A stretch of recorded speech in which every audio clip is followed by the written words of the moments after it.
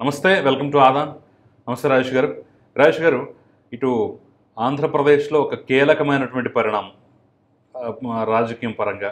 రెండు పార్టీలు Telugu Desam party Janasena party ఈరోజు అధికారపూర్వకంగా అఫీషియల్ పొత్తులో భాగంగా మొదటి సమావేశం ఏర్పాటు చేసుకోబోతున్నారు సో దాని మీద అనేక అంశాలు కూడా చర్చించబోతున్నారు ప్రణాళిక తెలుసుకోబోతున్నారు ఉమ్మడి కార్యాచరణ మీద కూడా ఒక ఒక అంశం వెలుగులోకి వచ్చేటువంటి అవకాశం ఉంది. సో ఎలా చూడాలి ఈ- పరిణామాలని? ముఖ్యంగా చంద్రబాబు జైల్లో ఉన్నప్పుడు లోకేష్ ఆ బాధ్యతలు తీసుకొని దీన్ని ముందుకు నడిపించడం అనేది ఎలా అర్థం చేసుకోవాలంటారు? చంద్రబాబు నాయుడు గారు జైలు పాలైన తర్వాత తెలుగుదేశం జనసేన మధ్య ఎన్నికల సయోధ్య దిశగా అధికారికమైన ప్రకటన పవన్ కళ్యాణ్ గారి నోటి నుంచి రావడం జరిగింది. ఇటువంటి నేపథ్యంలో ఇరు పార్టీల క్యాడర్ మధ్య సమ- సమన్వయం కోసం ఇరు పార్టీల వైపు నుంచి కూడా కమిటీలు కాన్స్టిట్యూట్ చేసుకొని ఆ సమన్వయ కమిటీ భవిష్యత్తు రాజకీయ కార్యకలాపాలని నిర్దేశించాలి అని చెప్పని ఇరు పార్టీల మధ్య ఎమోషనల్ అటాచ్మెంట్ పెరగడానికి క్యాడర్ మధ్య ఎటువంటి అంతరాలు లేకుండా ఉమ్మడి కార్యాచరణ దిశగా అడుగులేయడానికి ఈ సమన్వయ కమిటీ చొరవ తీసుకోవాలి అని చెప్పని ఒక నిర్ణయం జరిగింది. ఇరు ప- పక్షాల నుంచి కూడా సమ సమన్వయ కమిటీల ప్రకటన జరిగింది. ఇటువంటి నేపథ్యంలో ఈరోజు నారా లోకేష్ చంద్రబాబు నాయుడు గారితో ములాఖాతు జరుగుతున్న సందర్భంగా ఈరోజు మధ్యాహ్నం పవన్ కళ్యాణ్ గారు తెలుగుదేశం పార్టీ ప్రస్తుత అధికారిక బాధ్యతలు చూస్తూ ఉన్నా. అంటే చంద్రబాబు నాయుడు గారి ఆబ్జెన్స్లో ప్ర పార్టీ ప్రధాన కార్యదర్శిగా యువనాయకుడిగా చంద్రబాబు నాయుడు గారి తనయుడిగా రాజకీయ వారసుడిగా ఇవాళ కష్టకాలంలో పార్టీ బాధ్యతలు భుజాన వేసుకున్న నారా లోకేష్ మధ్య ఆ పార్టీ సమన్వయానికి ఇరు పార్టీల సమన్వయ సమన్వయానికి సంబంధించి కోఆర్డినేషన్ కోసం ఇవాళ ఒక మీటింగ్ జరగబోతుంది. ఖచ్చితంగా ప్రభుత్వానికి వ్యతిరేకంగా పోరాడాలి అని చెప్పని నిర్ణయం తీసుకున్న రెండు ప్రధాన రాజకీయ పార్టీలు. రెండు వేల ఇరవై రెండు మార్చి పద్నాలుగో తారీఖు ఇప్పటంలో జరిగిన పార్టీ ఆవిర్భావ దినోత్సవ వేదిక నుంచే రెండు వేల ఇరవై నాలుగు ఎన్నికల్లో ప్రజా వ్యతిరేక ఓటు చీలనవ్వును అని చెప్పని భవిష్యత్తు రాజకీయాలకు ఒక స్పష్టత ఇచ్చిన స్పష్టత ఇచ్చిన పవన్ కళ్యాణ్ గారు ఆ దిశగానే అడుగు ముందుకేయటం చంద్రబాబు నాయుడు గారు కూడా ఇరు రాజకీయ పక్షాల మధ్య ఒక సైజ్యతతో కూడిన పొత్తుతోటి ఎన్నికలను ఎదుర్కోవటం అవసరం అని చెప్పని స్పష్టం చేస్తున్న ధర్మిల ఇరు అగ్రనాయకుల మధ్య చంద్రబాబు నాయుడు గారు పవన్ కళ్యాణ్ గారి మధ్య ఒక మూడు నాలుగు సార్లు ఇప్పటికే సమావేశాలు జరుగున్న నేపథ్యంలో ఏ ఎజెండా వారి మధ్య చర్చకొచ్చింది అనేది వాస్తవంగా వారు మీడియాకి రిలీజ్ చేసింది ఏంటి అంటే ప్రభుత్వం పట్ల పెరుగుతున్న వ్యతిరేకత ప్రజలు ఎదుర్కొంటున్న కష్టాలు కడగండ్లు. అదే సందర్భంలో ప్రజాస్వామ్య స్ఫూర్తికి భంగం కలిగించే విధంగా ప్రభుత్వం ప్రదర్శిస్తున్న దమన నీతిని ఎండగట్టాలని ఇద్దరు కూడా ఉమ్మడి లక్ష్యంతో పోరాడాలి అని చెప్పని నిర్ణయం తీసుకున్నట్టుగా గతంలోనే ప్రకటించున్నారు.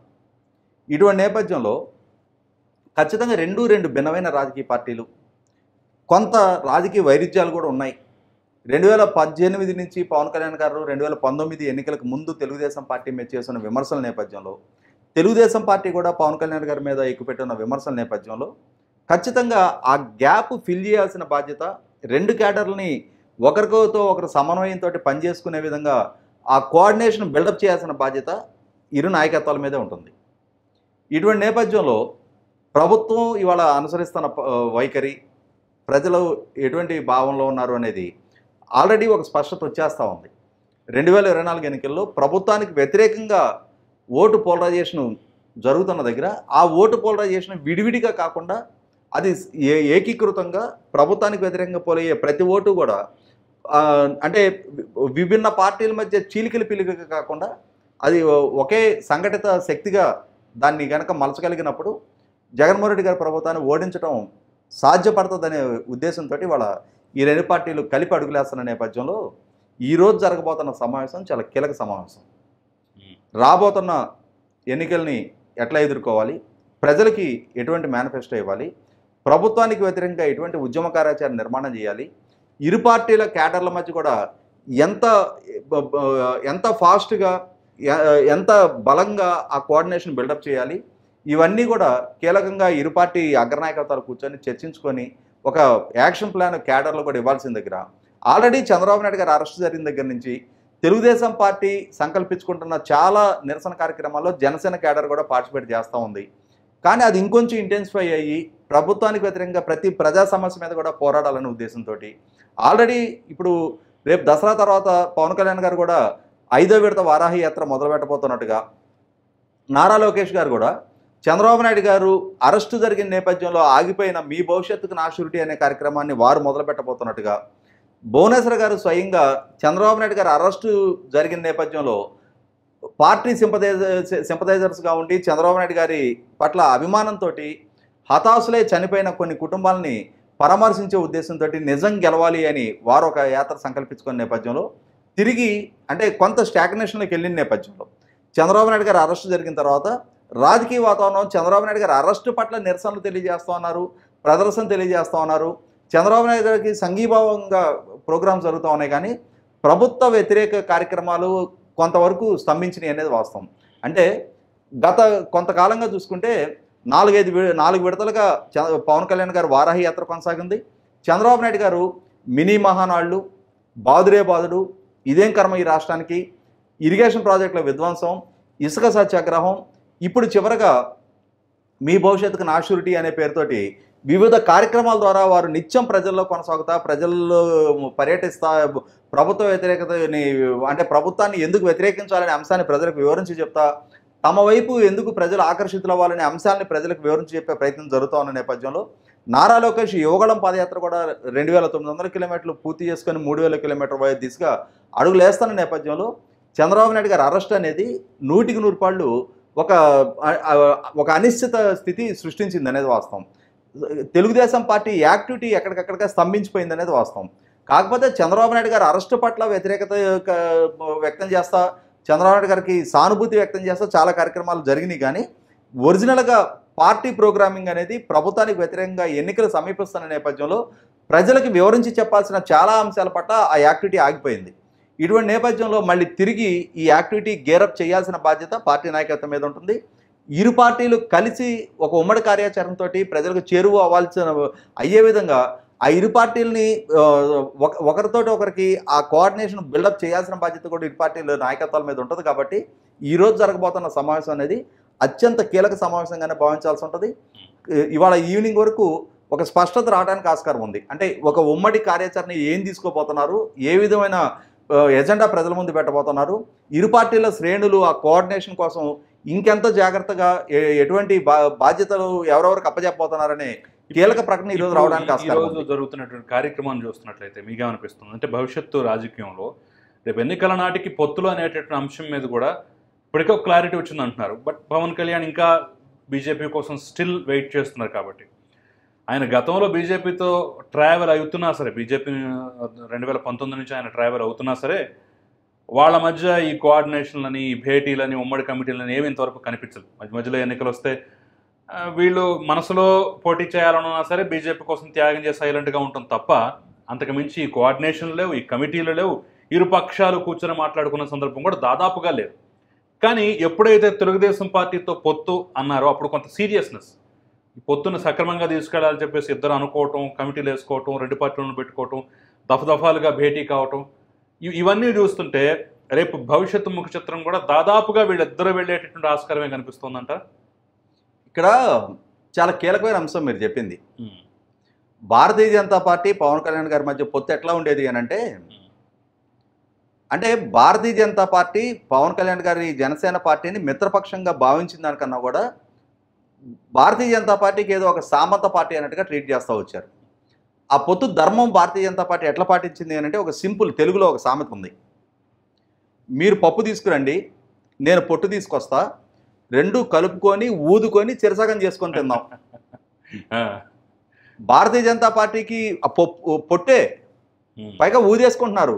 కానీ జనసేన పార్టీకి సంబంధించిన పప్పులో సగం భాగం మళ్ళీ వీళ్ళు తింటున్నారు. మీరు తిరుపతి పార్లమెంట్ ఉప ఎన్నిక జరిగింది. సామాజిక వర్గ పరంగా కానీ ప్రజాకర్షణ పరంగా కానీ జనసేన పార్టీ బలమైన పార్టీ ఆ కూటమిలో. అయినా సరే జనసేన అభ్యర్థిని పెట్టనివ్వకుండా భారతీయ జనతా పార్టీ అభ్యర్థిని పోటీకి పెట్టారు. అదే జనసేన పార్టీ అభ్యర్థిని కనుక పోటీ పెట్టినట్టయితే కొంత గౌరవప్రదమైన సంఖ్యలో ఓట్లు గెలుచుకోవడానికి ఆస్కారం ఉండేది. పవన్ కళ్యాణ్ గారు స్వయంగా ప్రచారం చేసినా కూడా డిపాజిట్ దక్కల.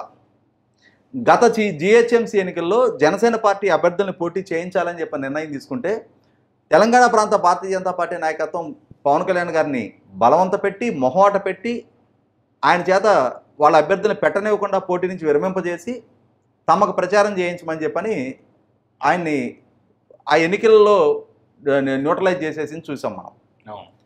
ఇవాళ తెలంగాణ ప్రాంత ఎన్నికల్లో ఒక ముప్పై మంది అభ్యర్థుల్ని ప్రకటించడా ప్రకటిస్తున్నారు అని చెప్పని ఆల్రెడీ ప్రచారం జరిగిన తర్వాత ఈ ఎన్నికల్లో పోటీ చేయాలి అని చెప్పని జనసేన నిర్ణయం తీసుకున్న తర్వాత పేరుకి మిత్రపక్షాలుగా కొనసాగుతూ ఉన్నాయి.